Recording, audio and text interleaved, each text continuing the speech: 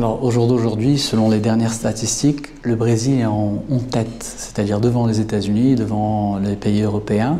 C'est le pays où on pratique le plus grand nombre de chirurgie esthétique. Bon, juste pour vous donner une idée, à Rio de Janeiro, c'est environ en moyenne chaque deux minutes une chirurgie esthétique est réalisée. Juste pour vous dire l'importance de, ça fait partie de leur culture.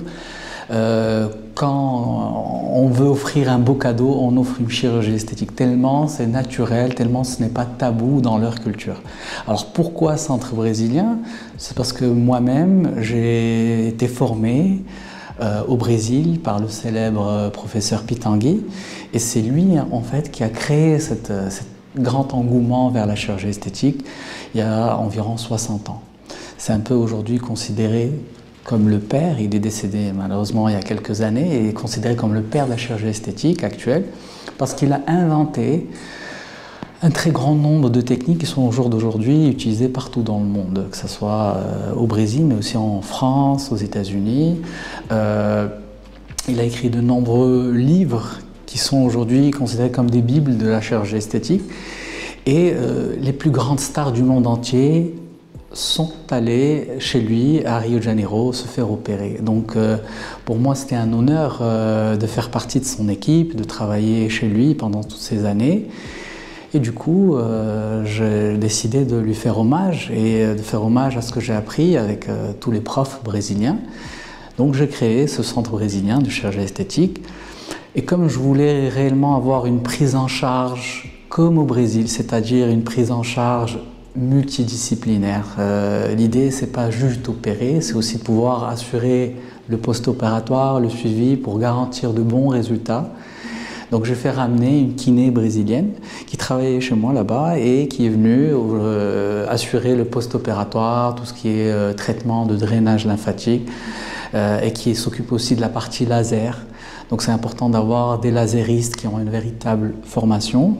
Donc on a aussi euh, une auto-brésilienne, Lara, euh, qui nous a rejoint plus tard et qui s'occupe de tout ce qui est traitement capillaire parce que euh, je fais beaucoup de greffes de cheveux pour les hommes, pour les femmes et on a besoin aussi de traitements, on va dire, adjuvants qui vont encadrer ces, procédés donc chirurgicaux.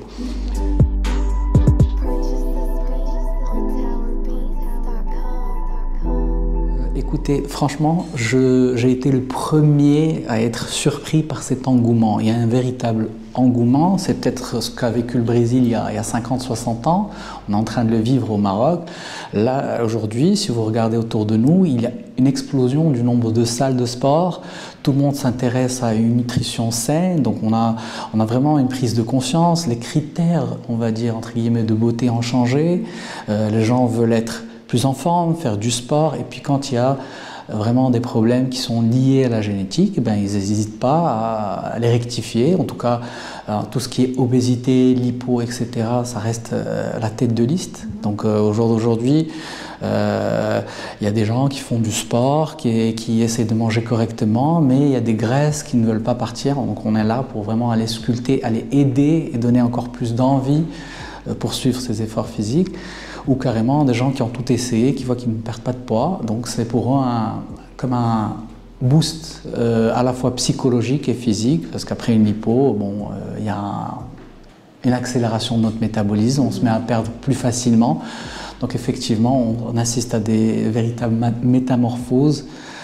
Euh, et ça, ça, effectivement, ça aide les gens par rapport à leur silhouette, par rapport à leur bien-être.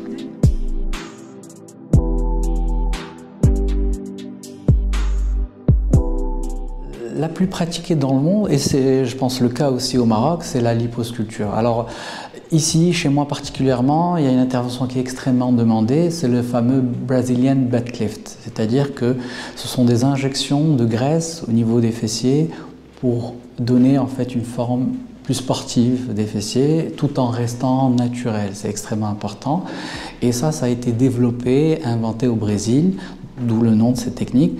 Donc si vous voulez, aujourd'hui la graisse c'est une denrée précieuse, on ne la jette plus, on la réutilise, que ce soit au niveau des fessiers, que ce soit au niveau des seins, pour une augmentation mammaire, ou pour combler les creux au niveau d'un visage. On l'utilise aussi pour traiter des cicatrices.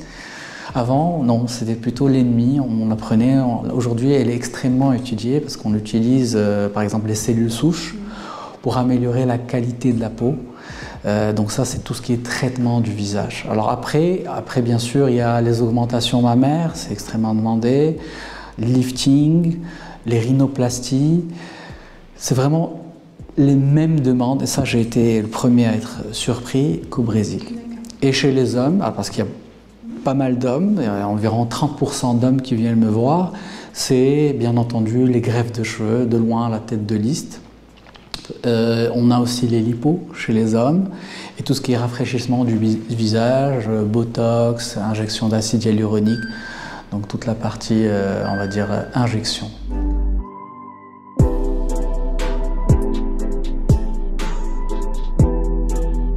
Effectivement, c'est moins tabou parce que je pense il y a 10 ans, 15 ans, parler de chirurgie esthétique, euh, ça n'existait pas. C'est-à-dire les gens faisaient ça en cachette. Euh, il fallait surtout pas se croiser dans les salles d'attente, surtout pas parler de tel ou tel chirurgien.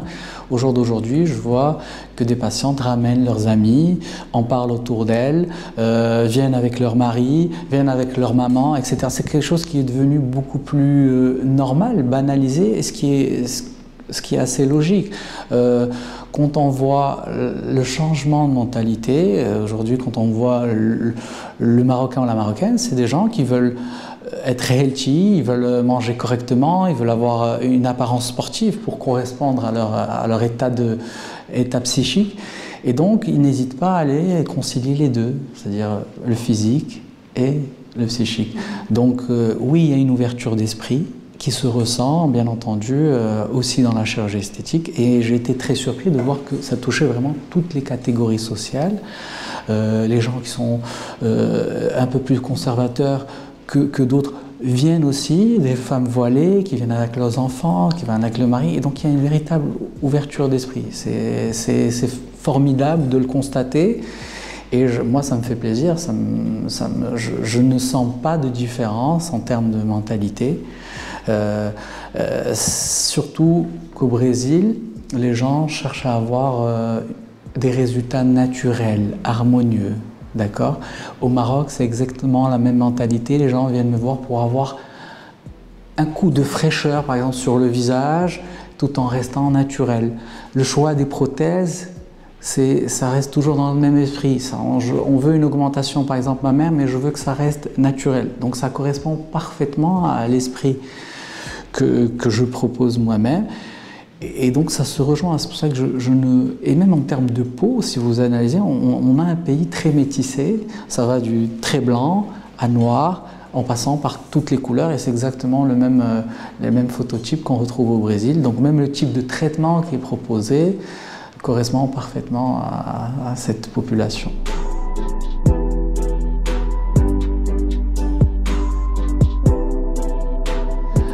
Pour être très honnête, euh, en termes de spécialité, médecine esthétique, ça n'existe pas. Si vous, euh, si vous demandez à l'ordre des médecins, euh, je cherche un médecin esthétique qui va vous dire cette spécialité n'existe pas au Maroc. Donc normalement, tout ce qui est injection esthétique relève de la chirurgie esthétique. C'est ce qu'on apprend durant la formation. Après, il y a d'autres spécialistes, comme les dermatologues, qui vont aller faire des formations complémentaires, mais qui ne font pas partie de leur cursus euh, de base. Donc c'est quelque chose qu'ils vont aller chercher donc, euh, on va dire à mi-temps pour euh, s'initier à telle ou telle technique. Il y a les dentistes aussi, etc. Mais normalement, ces injections qu'on appelle esthétiques reviennent au chirurgien esthétique parce que c'est le chirurgien qui sait l'anatomie parfaitement du visage, où on va disséquer durant un lifting, on va reconnaître tel muscle, tel nerf, et c'est ce qui nous permet d'avoir aussi des résultats, on va dire, plus safe, plus sécurisés. Alors que, bon, euh, après, médecine esthétique en tant que spécialité, ça n'existe pas.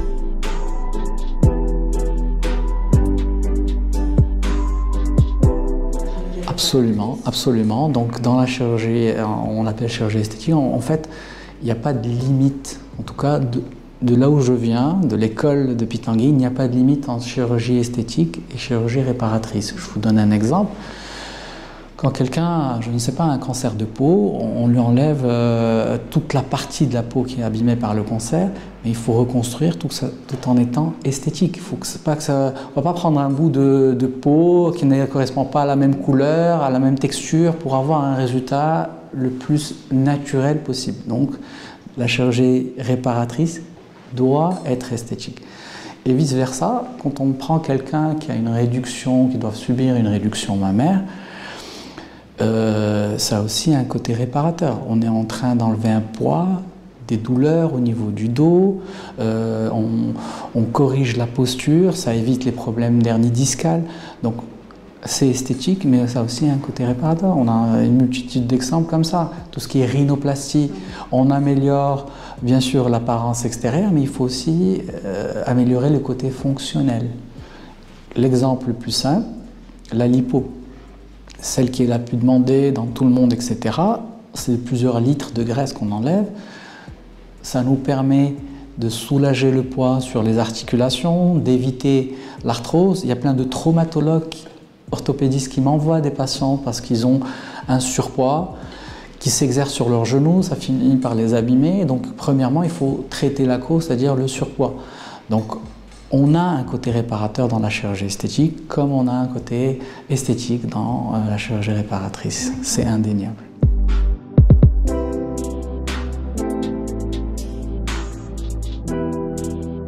Alors, il y a deux grands groupes. Il y a, euh, on va dire, les jeunes, 25-30 ans, d'accord euh, Et on a un groupe qui va s'intéresser à plus au vieillissement qui est 50-60 ans, voire plus.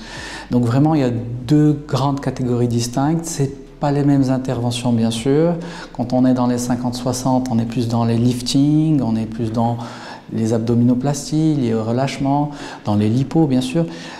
Plus jeune, je pense que ça touche plus euh, les augmentations mammaires, les, les lipos avec injection au niveau des fessiers, les rhinoplasties c'est là où vraiment on commence à vouloir être épanoui euh, dans son corps, euh, d'être bien, être, être confiant en soi.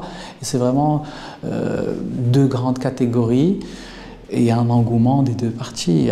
Aussi bien la, la personne qui se sent encore jeune, mais qui, se regarde dans le miroir, qui voit qu'il y a une discordance entre ce qu'elle voit et ce qu'elle sent, donc elle aimerait réconcilier les deux. Et puis y a la jeune qui est effectivement, euh, elle, elle, a toujours eu un complexe, elle était jeune, elle a vécu avec ce complexe, euh, maintenant elle a, elle, a, 25 ans, elle commence à gagner ses, ses, premiers salaires et elle aimerait réaliser son rêve qui vient faire sa rhinoplastie ou son augmentation mammaire parce que ça la complexe. Donc il y a vraiment ces deux catégories-là.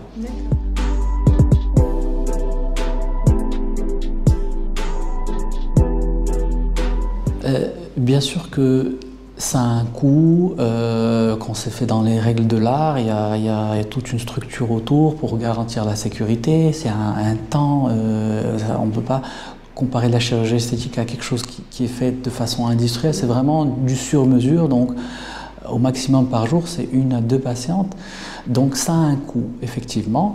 Est-ce que ça a la portée de tout le monde? Euh, Bien sûr que non, mais en, tout cas, au jour d'aujourd'hui, ça a la portée d'un plus grand nombre de gens. Euh, avant, ça, touchait uniquement la classe aisée.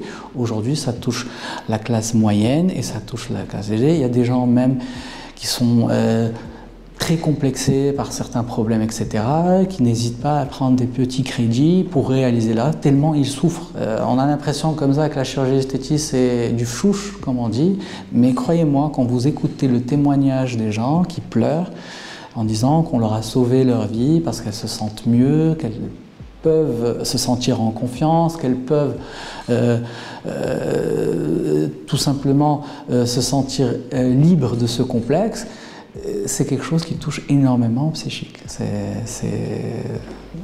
C'est totalement lié. Donc, ça touche une gamme plus large de patientes. Euh, ça s'est démocratisé par rapport à avant, où c'était effectivement beaucoup plus cher. Mais euh, au jour d'aujourd'hui, ça touche euh, vraiment à la fois la classe moyenne et la classe aisée.